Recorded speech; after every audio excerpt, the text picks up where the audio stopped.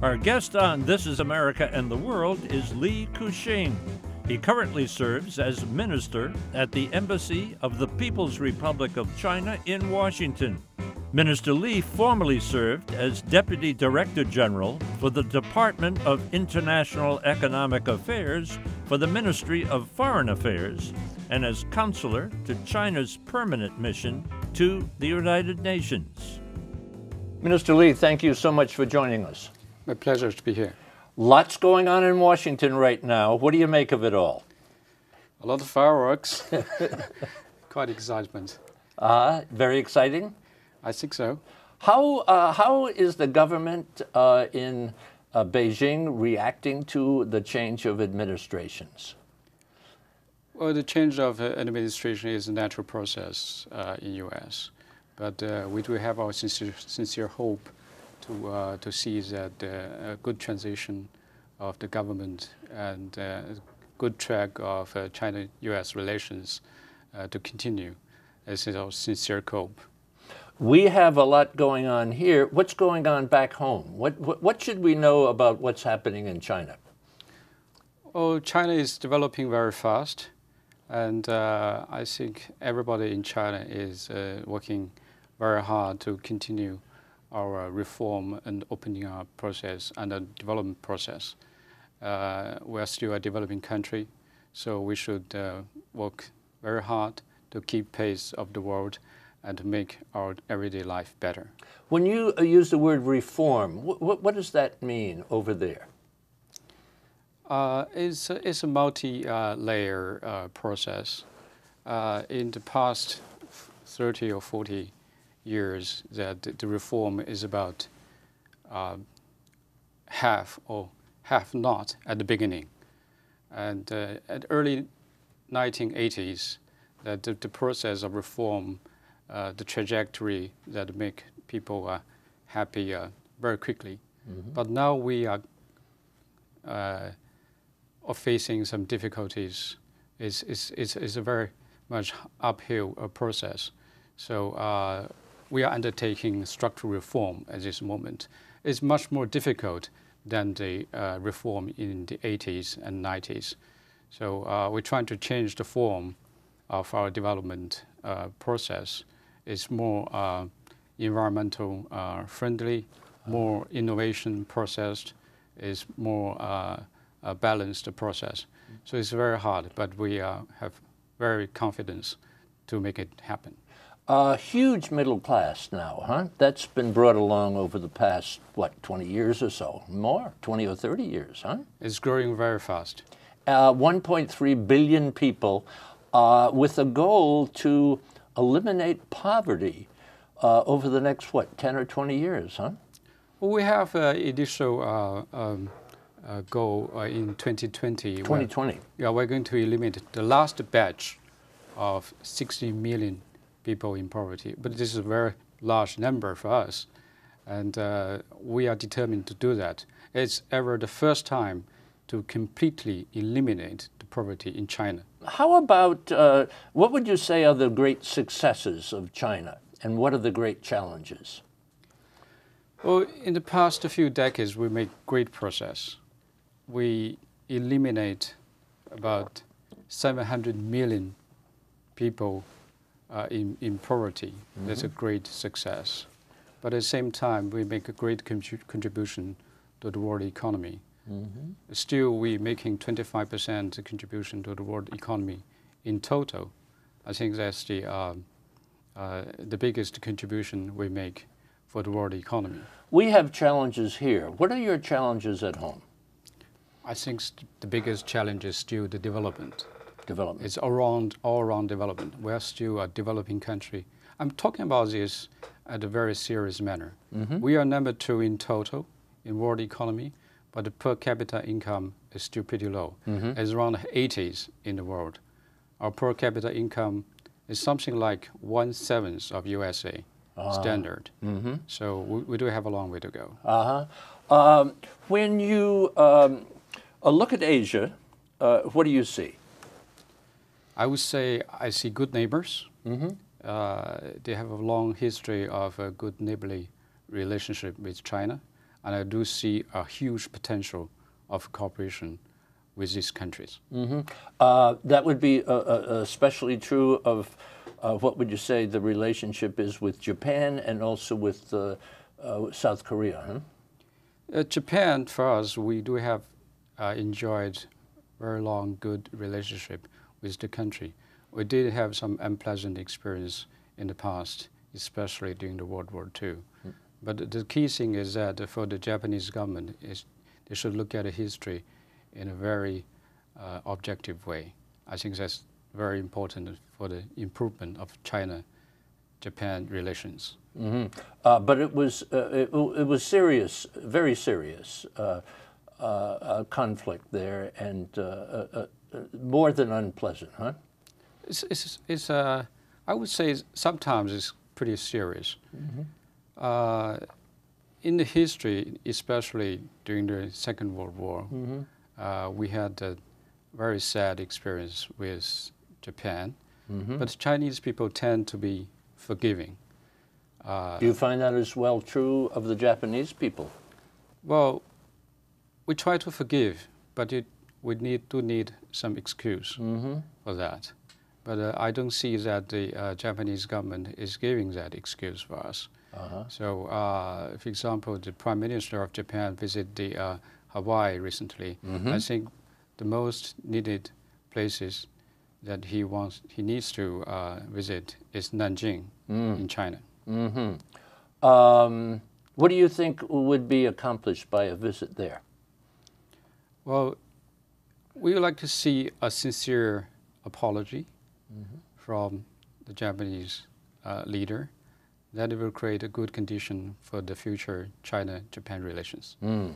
How about the relationship between, uh, say, uh, China and uh, and South Korea? How, how, how is that uh, stacking up? We established uh, diplomatic relations in 1992. Mm-hmm. Since then, we do enjoyed very good um, uh, relationship with with the country. Mm-hmm. Uh, the mutual trade is growing very fast. People to people exchange uh, growing very fast. Korean uh, culture is very popular in China, but we do have some uh, political concerns and security concerns with the country. for example the, the THAAD uh, missile system to be deployed in the country. That mm. will be uh, very detrimental to uh, the regional uh, security and detrimental to our bilateral relationship. So, so uh, China is not thrilled with having that uh, missile system at its at its doorstep, huh? No, we don't think so. No. Um, how about um, Taiwan and Hong Kong? When we talk about, well, let me go sideways for a second and tell me uh, one China policy, and how does that relate to Taiwan and Hong Kong? One China policy is the basis that uh, for our relationship with uh, other countries in the world. Mm-hmm. Uh, historically, there's uh, tons of uh, literature mentioning about the uh, Taiwan is part of uh, China. Mm-hmm. But nationally, I think the Chinese people recognize that the people in mainland and Taiwan formulate one China. Mm-hmm. And uh, internationally, we do have the uh, multilateral and bilateral uh, treaty with the UN, uh, with other major countries, like the 2758 resolution in the UN uh, Assembly, and uh, our three communiques with uh, American government. They all stipulate one China policy. I think that's the basis for our bilateral relations with U.S. and is the basis for us to dealing with Taiwan. Uh, let us take a little break. Uh, we're talking uh, with Minister Li uh, from the Embassy of the People's Republic of uh, China, and we're uh, very uh, honored to have you with us today. Take a little break. Back on the other side, this is America and the World. This is America and the World is brought to you by the National Education Association, the U.S. China Education Trust, and F.Y. Chang Foundation, guided by Ambassador Julia Chang Bloch, President. the League of Arab States, representing 350 million people in 22 member countries. The Petrolin Group, expertise with integrity in the fields of oil and gas, exploration and production, energy, and infrastructure. The Rotondaro Family Trust. The Embassy Series, uniting people through musical diplomacy, presenting international artists in diplomatic settings and Ventana Productions, television facilities, editing, and distribution services. When uh, President elect Trump uh, made the call to the president of uh, Taiwan, or the other way around, however it happened, uh, Beijing was not uh, pleased with that at all. Huh? They, they uh, considered it a, a, an affront in a way. Huh? Help, help us understand why that call was not received so well it's actually not not only well received, is uh, is, is is pretty annoying, because that the one China policy is the basis for China-U.S. relations. We dealt with the uh, eight presidents in the past, and we do have the three communiques uh, for our bilateral relationship. I think this basis for one China policy is the key for us to continue our relationship. So this call is, uh, is, is pretty annoying, and uh, we hope that this uh, move will not happen again in, in the future. Uh, I want to zero in on this because it's important for, for me to understand and for our viewers to understand. When you say that the one China policy is the basis of the relationship between the United States and uh, the People's Republic, uh, that statement is a very simple statement and very declarative statement. Uh, we have a president-elect uh, who has already signaled that maybe the one China policy is a thing of the past. Uh, he has also said uh, uh, China is the enemy. Uh, during the during the campaign, he would say that China doesn't play by the rules. How do you put all of that together? And what are the risks if he proceeds down the path of bringing Taiwan and the United States closer together and putting the People's Republic off to the side? Oh, I think we need to firstly define the, the status of the relationship mm-hmm. between mm -hmm. China mm -hmm. and mm-hmm. U.S. Yeah, good. I would say this is the most important bilateral relations in the world. There are different terms on that. You mentioned friend, enemy, mm -hmm. maybe competitor.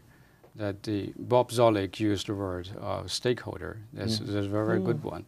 But I think the, uh, the important concept is that we try to advocate for a long time that the, the new model of a major country relationship that features non-conflicting, non-confrontation, mm -hmm. mutual respect, and mutual benefit, and win-win cooperation. I think if we stick to these keys for our bilateral relationship, relationship we will certainly overcome these obstacles all the time. Uh, uh, but Minister, uh, uh, with respect, and, and I understand what you're saying, and, and I, uh, some of the people here in the United States are concerned about uh, President-elect Trump's unpredictability. And so, so back in Beijing or at the embassy here in Washington, I'm sure that people are concerned about that unpredictability, aren't they? Well, whoever takes the office in the Oval Office in the White House, that is, is, is decided by the American people.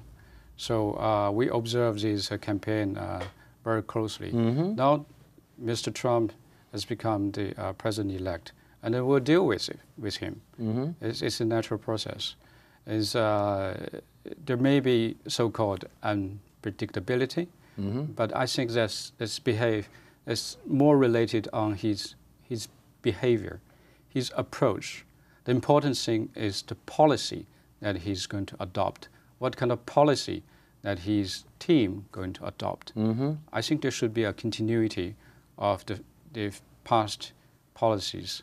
I think most of the past policies are very healthy, very constructive uh, for the China-U.S. relations. Uh, China and the United States need each other, don't they? Very much so. Uh, and uh, there are, what would you say brings the two countries together and what pushes them apart? We've talked a little bit about what may push them apart or has pushed them apart. What brings them together? I think the mutual interest stick two countries together mm -hmm. very closely. We do have our close trade ties, investment ties. Mm -hmm. uh, up to today, we do have about 550 billion US dollars for mutual trade mm -hmm. and 150 billion US dollars for mutual investment. That's created a lot of jobs for each other. And that's also very conducive to the stability, uh, to the region, to the world.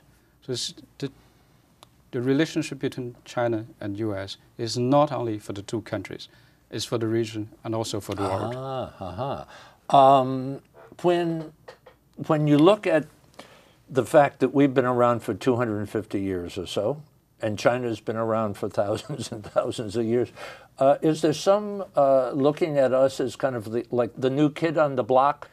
Uh, talking about this, maybe it's necessary to mention about some features of uh, Chinese uh, uh, culture that the um, I think it's, it's important for our American friends to understand China uh, by knowing that we do have a long history. Mm -hmm.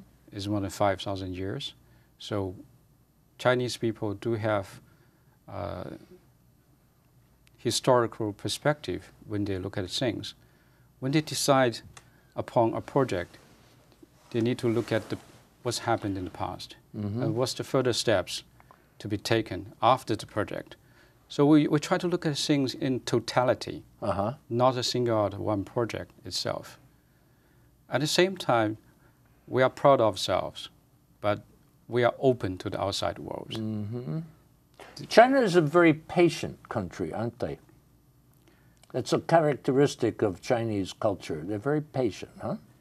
We are, we are patient, but at the same time, I would say that uh, in Chinese culture, the heart of Chinese culture comes from the concept of family. Family. Because it, the family concept is deep rooted in the Chinese culture. Mm -hmm. In the family, that the youngers will show full respect to the older mm -hmm. and exercise filial piety. The elders will take care of the youngers. Mm -hmm. You know, in, in Chinese word, that the nation, 国家, has one character of a family there. Mm. So in, in the nation building, we do have a family element in it. Uh-huh. But the, the key for this family building and nation building, there are also a good uh, concept of harmony, peace and harmony. Does that conflict with how you view the U.S. culture? Because individualism, family is important, but individualism is also part of our culture. So is there a cultural clash there? I don't think there's a, there's a clash between that.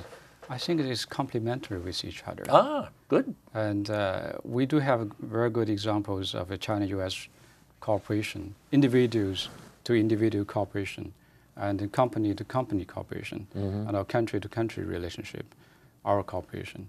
So I think they are, they're very complementary with each other. President uh, Trump, uh, the president elect, talks about a trade war. Uh, that has to bother uh, the government of, uh, of uh, the People's Republic quite a bit.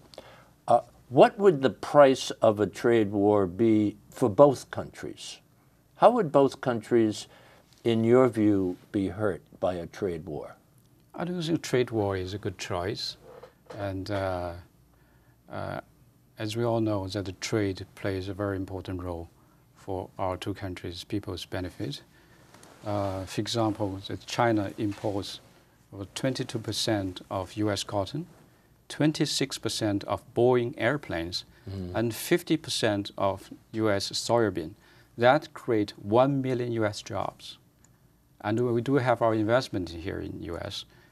That's also creates create a lot of jobs. about 100,000 U.S. jobs here. So the trade and investment mutually is beneficial to U.S. citizens, and it's U.S. and it's also uh, a good for the Chinese citizens. U.S. companies did the same thing in the past in China. They're still doing that. So welcome the U.S. investment there. The trade war is not a good choice. We have a trade deficit though with China, don't we? We do. Uh, it's, there is a different kind of interpret interpretation of the statistics. Mm -hmm. So, uh, uh, uh, but but trade is a is, is a volatile process. Supposing the president-elect comes along uh, and through his uh, trade representatives and such slaps some tariffs on Chinese goods, how will that hurt both of the countries? Well, we'll be paying more probably for the for the products, huh? I think every decision should be based on political political consideration as well as market factors. If that decision really affects the American consumers, the American consumers will not agree with that. For example, if you go to the U.S. shops, you do find good, qualified Chinese products. But if you raise the tariff, and then how can it U.S. consumers enjoy these good products. Mm. So, regarding this trade war business, what, you, what, what are your hopes and what are your fears? Uh, we do have a, a, strong hope for good communication between our two countries, our, our professional team and transition team at this moment. And after the uh, taking office, we will deal with different departments uh, in U.S. I don't think we do have a fears for that. Mm. And uh, we did have ups and downs uh, in, in the past, but we dealt with them. We, we do have the wisdom to deal with all these obstacles. The president's uh, team is uh, his cabinet, a lot of uh, CEOs, a lot of businessmen, a lot of military people. Uh, do you expect a kind of, does Beijing expect a hard line from the Trump administration toward China, at least at the beginning? I think the people's background uh, is different. I, think, I think that's a good thing. We don't care about that who, where they come from. We care about their policy they are going to take. Uh-huh. But uh, in the past, uh, for a few decades, that we dealt with different presidents, mm-hmm. but there is a strong consensus, bipartisan consensus, to develop good U.S.-China relations. I think that consensus should be continuing. Can uh, China help us with the, the DPRK, uh, North Korea? Can, can, can, uh, will that be something that brings the two countries together to try to put a lid on that nuclear program and uh, Kim Jong Un's instability?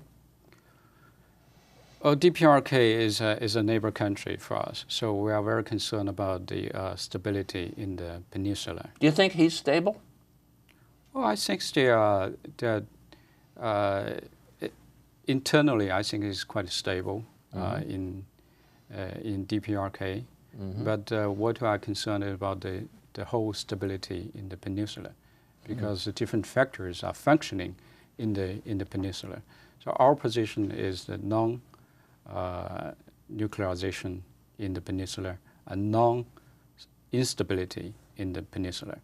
So we're trying very hard to uh, to work with other countries, including U.S. Mm-hmm. and other six-party talks uh, uh, members. So we advocate very strongly to come back to the negotiating table.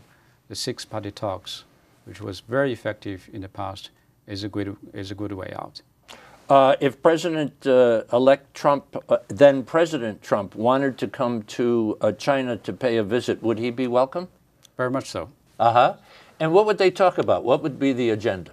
I, I think that the uh, the the two leaders will have a very good talk, and uh, because there are so many issues to address for them, uh, and personally, I, I, believe maybe the two leaders have their uh, personal chemistry with each other. Aha. Uh-huh. We are at the end of our time. Do I remember correctly that? Uh, in Chinese uh, characters that uh, crisis also has the reverse as an uh, uh, uh, of opportunity, huh? Correct. Is that right? Yes. So, uh, so, so even though it, we might be having putting on our seatbelts and parachutes, uh, we're going to hope for the best. Uh, I wouldn't say that there's a crisis now, but we do see uh, opportunities in front of us. Uh huh. Minister, thank you so much for the education, and thank you for coming by and talking with us today. Very pleased to be here. Thank you. For information about This Is America and the World and to watch all of our programs, visit our website, thisisamerica.net, and look for us on Facebook and Twitter. You can now listen to all of our ambassador interviews on our new podcast, the Ambassador Series. It's available on our website and iTunes. This is America and the World is brought to you by the National Education Association, the U.S. China Education Trust, and F.Y. Chang Foundation, guided by Ambassador Julia Chang Bloch, President. The League of Arab States, representing 350 million people in 22 member countries. The Petrolin Group, expertise with integrity in the fields of oil and gas, exploration and production, energy, and infrastructure. The Rotondaro Family Trust. The Embassy Series, uniting people through musical diplomacy, presenting international artists in diplomatic settings. And Ventana Productions, television facilities, editing, and distribution services.